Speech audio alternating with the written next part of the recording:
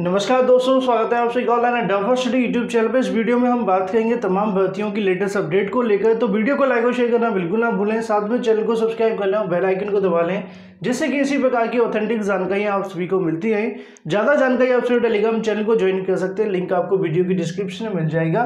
तो चलिए दोस्तों वीडियो शुरू करते हैं। सबसे पहले दोस्तों, आप सभी को यहाँ पर जानकारी देखने के लिए मिल रही कि यूपी के माध्यम से एक परिणाम घोषित किया गया, जो कि छोटी सी अपडेट है। उसको हम यहाँ पर कवर कर लेते हैं। तो यहाँ पे दोस्तों आप सभी के सामने आ जाएगा ऑफिशियल नोटिफिकेशन जिसके माध्यम से रिज़ल्ट आप सभी देख पाएँगे। 12 अप्रैल 2021 की जो प्रेस विज्ञप्ति है, वो जारी कर दी गई है, जिसके क्रम में पीसीएस 2020 का जो परिणाम है, वो घोषित कर दिया गया। उसी क्रम में जानकारी आप सभी को देखने के लिए मिलेगी कि 20 मार्च 2021 को जो परिणाम है घोषित किया गया था। उसके आधार पर परीक्षा परिणाम के आधार पर इंटरव्यू देखने के लिए मिले थे, जहाँ पे आठ अभ्यर्थी सफल घोषित हुए थे।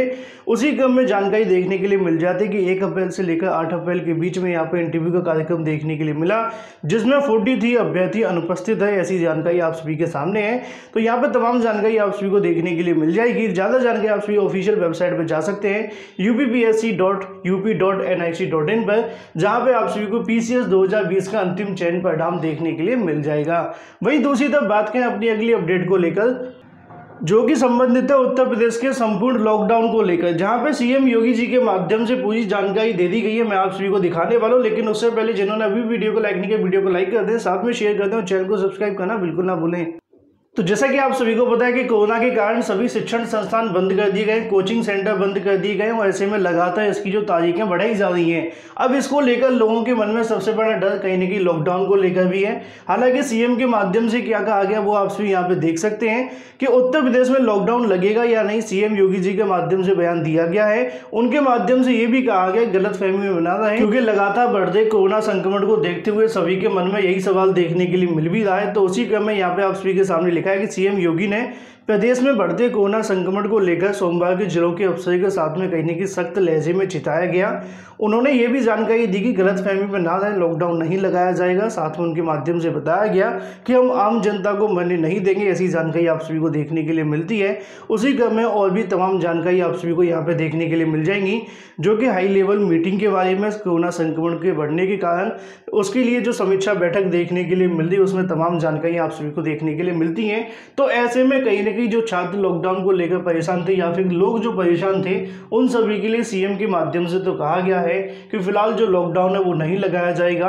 हालाँकि ऐसी जानकारी पीएम के माध्यम से भी दी गई थी कि अभी ऐसे हालात नहीं है, लेकिन बार बार संक्रमण बढ़ने की वजह से ऐसी जानकारियाँ देखने के लिए मिलती हैं या फिर सोशल मीडिया भ्रांतियाँ भी आती रहती हैं।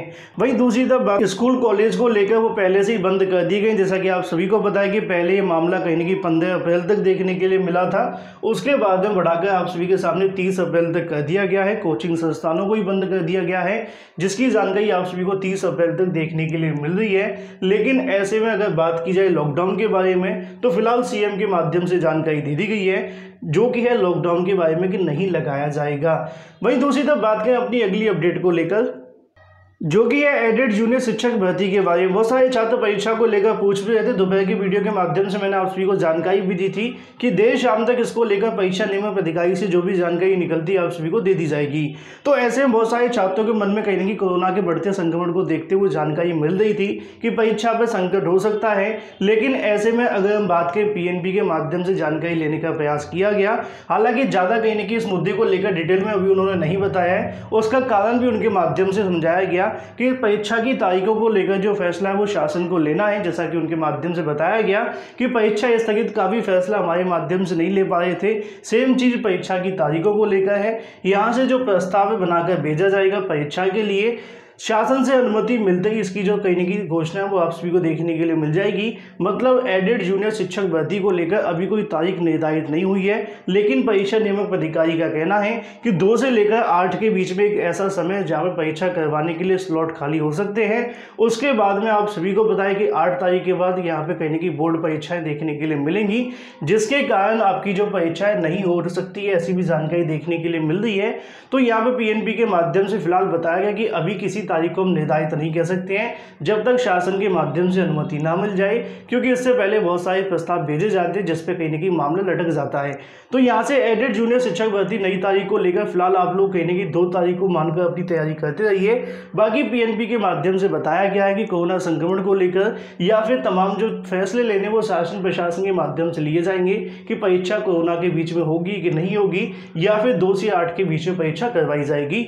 इसके बारे में सिर्फ़ पीएनपी का जो काम सिर्फ़ इतना है कि यहाँ पे शासन को परीक्षा करवाने के लिए जो प्रस्ताव है भेजा जाएगा, उसके बाद में तारीखों का जो निर्धारण होगा, वह शासन के माध्यम से कर दिया जाएगा। बाकी इसके बारे में अभी ज़्यादा जानकारी उनके माध्यम से इसलिए भी नहीं दी गई है, क्योंकि इस परीक्षा को लेकर कोई निर्धारित तारीखें यहाँ पर शासन के माध्यम से या फिर अधिकारियों के माध्यम से नहीं दी गई है। तो एडिट जूनियर शिक्षक भर्ती आपसे मान करके चलिए कि दो से आठ के बीच में होने की प्रबल संभावना है। बाकी इसको लेकर जैसी कोई अधिकारी घोषणा होती है, सबसे पहले जानकारी आप सभी को हमेशा की तरह ऑनलाइन डाटा फ़र्स्ट चैनल के माध्यम से दे दी जाएगी। तो ये बात हो जाती है एडेड जूनियर शिक्षक भर्ती के बारे में। वहीं दूसरी तरफ़ बात करें अपनी अगली अपडेट को लेकर, जो कि उनहत्तर हज़ार शिक्षक भर्ती के बारे में लगातार छात्रों के माध्यम से थर्ड चयन सूची का जो इंतज़ार है वो किया जा रहा है, उसी क्रम में आज की तारीख में महानिदेशक को एक पत्र भेजा गया जो कि आप सभी को देखने के लिए मिलेगा। रिक्त पदों की अगली चयन सूची जल्द जारी करने के लिए निवेदन किया गया है, जिसमें उनहत्तर हज़ार शिक्षक भर्ती के अंदर जानकारी देखने के लिए मिल जाती है।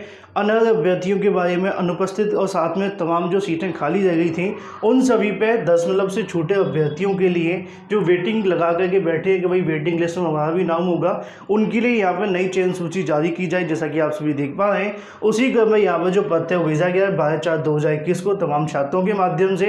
ऐसे में कहीं ना कहीं छात्रों का यहाँ पर कहना है कि जो रिस्पॉन्स मिला है शासन के अधिकारियों के माध्यम से, उनका कहना है कि जल्द यहाँ से जो उम्मीद है वो चयन सूची को लेकर है। लेकिन ऐसे में आप सभी के मन में सबसे बड़ा सवाल होगा रिक्त पदों के बारे में, अभी तक कोई भी आधिकारिक डाटा शासन के माध्यम से नहीं दिया गया है और ना ही इसके बारे में पूरी जानकारी दी है कि सभी जिलों से बीएसए के माध्यम से डाटा भेज दिया गया है। तो ऐसे में कहीं ना कहीं तमाम छात्रों के माध्यम से पहले महानिदेशक को जो पत्र है वो लिखा गया साथ में सौंपा गया।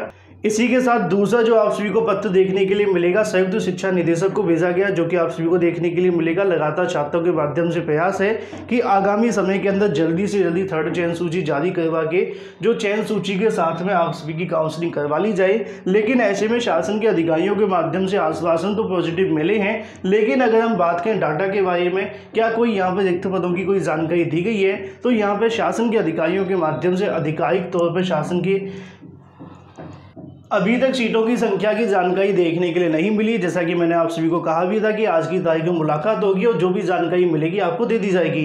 तो ऐसे में कहीं ना कहीं थर्ड चयन सूची के लिए और साथ में काउंसलिंग के लिए पॉजिटिव रिस्पॉन्स है, लेकिन कब से शुरू होगी, कब तक देखने के लिए मिलेगी, इसको लेकर अभी भी संशय बरकरार है।